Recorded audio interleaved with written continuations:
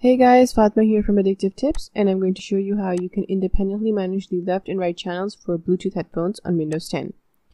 Now you cannot do this out of the box so we're going to be editing the Windows registry and you need admin rights for that. Tap the Win plus R keyboard shortcut and in the run box type regedit. Tap enter and you've got the registry editor. Now navigate to this location that you see on your screen and you should see a value here called disable absolute volume.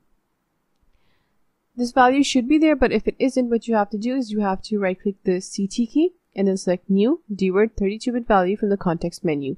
Name this value disable absolute volume and just double click it and then set the data value to 1. After this, you need to restart your system. Once that's done, connect your Bluetooth headphones to your PC and right click the speaker icon in the system tray. Select open sound settings and you get this settings panel here. Click the device properties option here and you can independently change the left and right volume level for your Bluetooth headphones. Now, in the event that you cannot connect to your Bluetooth headphones after making this change in the Windows registry, what you need to do is you need to unpair the device. After that, you need to pair your headphones again and then connect them and you should be able to connect the headphones and manage their left and right volumes independently of each other. Thanks for watching. I'll see you later with more tech tips.